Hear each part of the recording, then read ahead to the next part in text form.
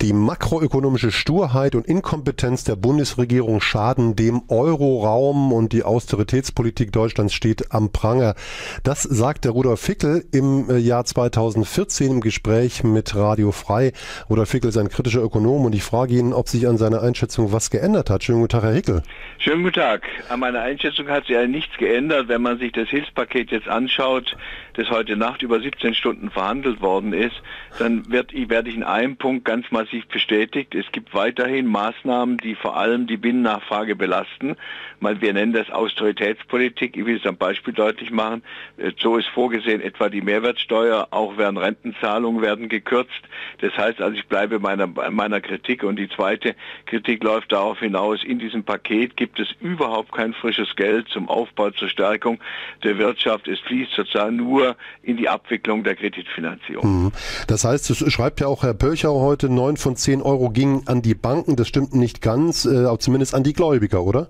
Ja, insgesamt ist so, wir nennen das, ich nenne das in der Zwischenzeit ein zirkuläres Schneeballsystem. Was passiert da? Da werden im Grunde genommen äh, Kredite aufgenommen, die jetzt über das Hilfsprogramm im Rahmen von ungefähr 18 Milliarden finanziert werden soll als drittes Hilfspaket. Und wozu werden die benutzt? Die werden vor allem dazu benutzt, die Gläubiger abzuarbeiten. Wir haben jetzt praktisch in der Mitte dieses Monats ungefähr äh, ähm, vier, vier Milliarden Forderungen der Europäischen Zentralbank, auch des Internationalen Währungsfonds. Die kann Griechenland nicht mehr bezahlen und die werden dann aus diesem Rettungsfonds bezahlt. Also man finanziert die Kredite. Wer sind die Gläubiger? Es waren in der Tat, da ist die Aussage richtig, äh, ganz viele Jahre, längere Zeit, ab 2010 waren es insbesondere die Banken und die Privatgläubiger, also die Reichen, äh, denen sozusagen die Auszahlung ihrer Kredite gesichert worden ist. In der Zwischenzeit ist die Umstrukturierung des Staatsschulden so passiert in Griechenland, dass etwa 70 Prozent bei öffentlichen Institutionen liegen, beim IWF, beim Rettungsfonds und vielem mehr. Ähm, aber aber das, am Prinzip ändert sich nichts. Es ist kein Geld, das frisch aufgebracht wird, um sozusagen beispielsweise ein soziales Hilfsprogramm in Griechenland zu finanzieren. Mhm. Nun haben Sie das nicht irgendwelche kritischen Ökonomen ausgedacht oder Journalisten? Auch der IWF hat das ja eingestanden und gesagt, also Olivier Banchard sagt, statt Griechenland wurden Banken gerettet. Also wenn man das richtig liest, hat auch der Internationale Währungsfonds genau das bestätigt? Ja, der Internationale Währungsfonds hat zwei sehr kluge Aussagen gemacht. Die eine war im September äh, letzten Jahres. Da hat der Währungsfonds gesagt, äh, dass diese ganze Austeritätspolitik die Wirtschaft erheblich mehr belastet hat, als bei den Planungen ausgegangen ist, das richtig zu Wachstumsverlusten geführt hat. Das war die erste kritische Äußerung gegenüber den Folgen der Austeritätspolitik. Und jetzt kommt die kritische Äußerung, dass vor allem Banken, sprich Gläubiger finanziert werden. Da hat der IWF völlig recht, aber es führt beim IWF nicht dazu, dass sich beispielsweise das Grundkonzept, das heute Nacht verhandelt worden ist, ändert, was die sozusagen die Rettung der Gläubiger betrifft, ähm, die, ab, die von Griechenland nicht mehr bezahlt werden können. Mhm. Kritik kommt ja ebenfalls aus Amerika, zumindest von vielen Ökonomen, aber auch von Politikern, die sagen, Leute, ihr könnt Europa nicht kaputt sparen. Das geht nicht. Ähm, das ist also ein Kampf der ökonomischen Schulen. Ist das äh, ein ideologischer Kampf oder was erleben wir derzeit?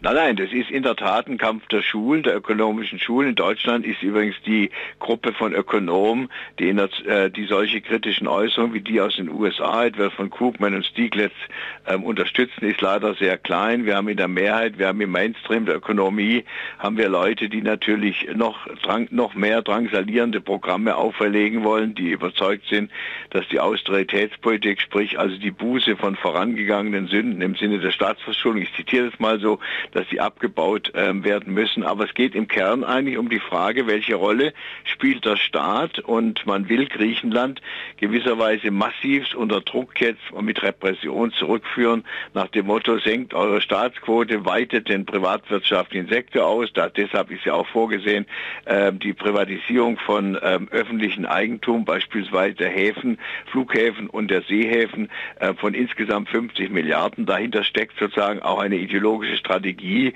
äh, zurück, neoliberale Strategie, Stärkung der Märkte, äh, Schwächung sozusagen des Sozialstaats. Und das ist die Botschaft, äh, die da jetzt versucht wird umzusetzen mit katastrophalen Wirkungen mhm. in Griechenland. Laufen denn nun die ähm, Politikerinnen und Politiker, also jetzt äh, voran äh, Schäuble, solchen ähm, ökonomischen Schulen hinterher äh, oder äh, halten die sich an, äh, an ökonomische äh, Gesetze, die ja keine Naturgesetze sind? Oder wie äh, schätzen Sie die Politiker ein, die da derzeit äh, das Sagen haben? Das ist ja äh, Frau Merkel und Herr Schäuble vor allen Dingen.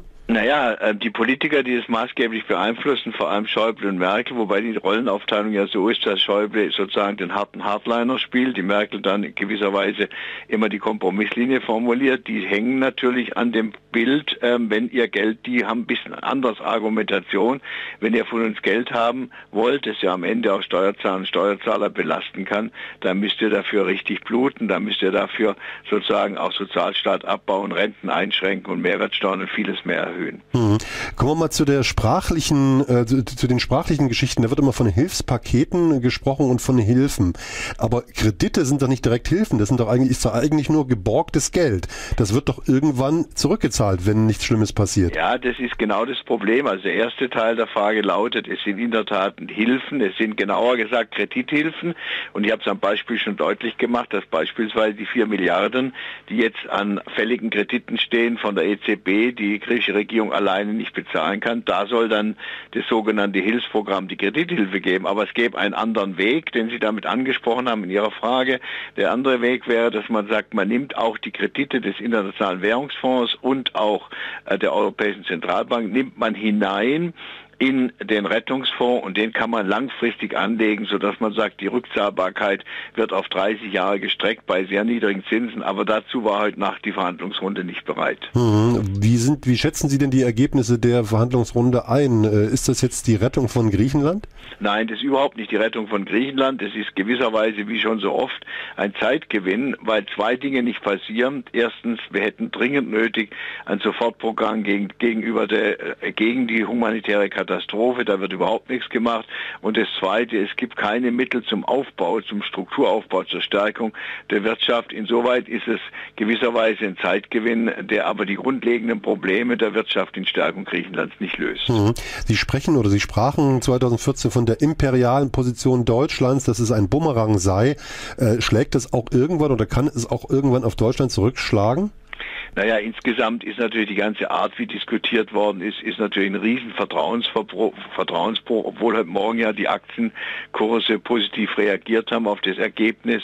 Aber es ist in der Tat erstens imperial sehr stark, das wird sehr stark beeinflusst. Ich hat es übrigens heute Nacht gemerkt, dass beispielsweise der gute Freund von Merkel, Hollande, sich von ihr distanziert hat. Renzi, der italienische Ministerpräsident, hat sich mit sehr klugen Formulierungen distanziert und der Bumerang, der Bumerang-Effekt könnte darin bestehen, dass Deutschland mit dieser Politik auch gewisserweise die Spaltung des Euros und des Eurolandes und die Spaltung der EU vorantreibt. Und das ist natürlich ein Bärendienst, den man der europäischen Bewegung versucht dann äh, zu verpassen. Mhm.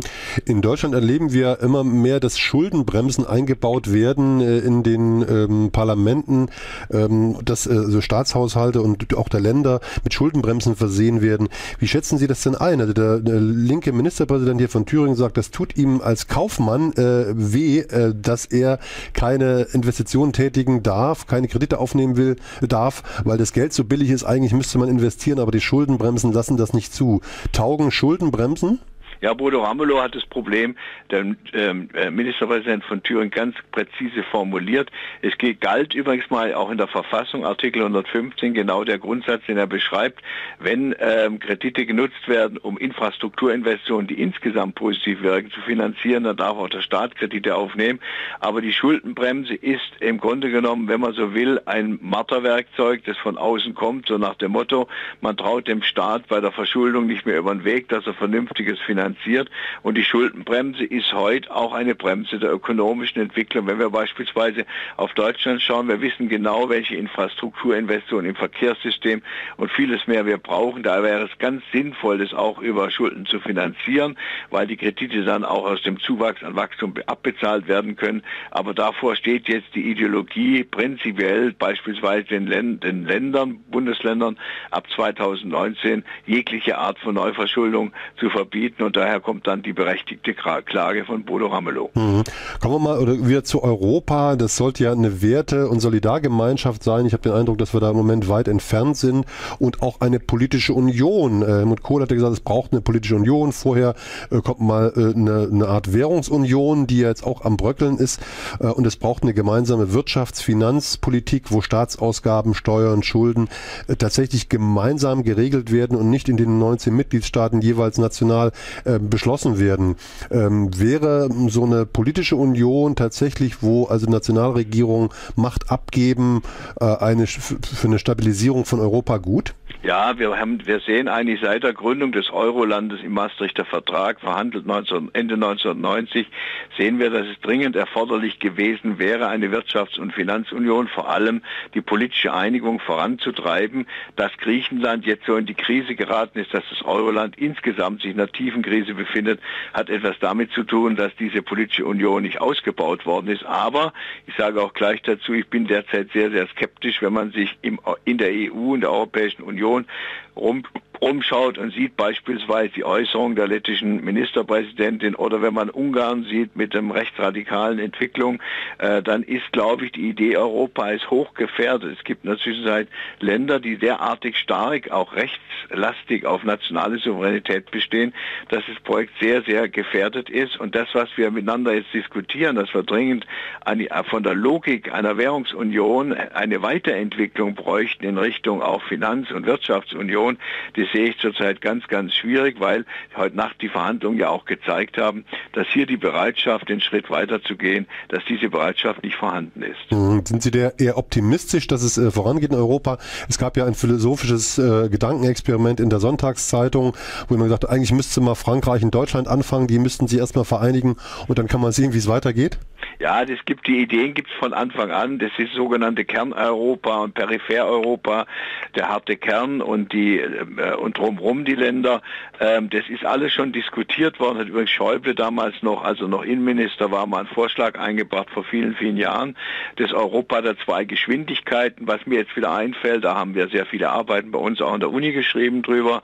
Ähm, aber insgesamt haben wir jetzt ähm, den, die Konstellation und es muss alles getan werden, dass die Konstellation des Euro Eurolandes, also die 19, dass es nicht auseinanderbricht, sondern insgesamt weiterentwickelt wird. Aber Sie haben völlig recht, ähm, äh, das hat man ja gesehen, Frankreich und Deutschland, vielleicht auch ganz wichtig Italien, müssen da eine Führungsrolle übernehmen. Aber erstmals haben, haben, hat sich heute Nacht gezeigt, dass die Risse äh, zwischen beispielsweise Hollande für Frankreich und der Bundeskanzlerin Merkel sehr, sehr groß sind sagt Rudolf Fickel, der kritische Ökonom. Ich wünsche Ihnen äh, noch einen schönen Tag. Danke fürs Gespräch und ähm, alles Gute. Ciao. Ja, ich wünsche alles Gute. Schönen Tag. Tschüss.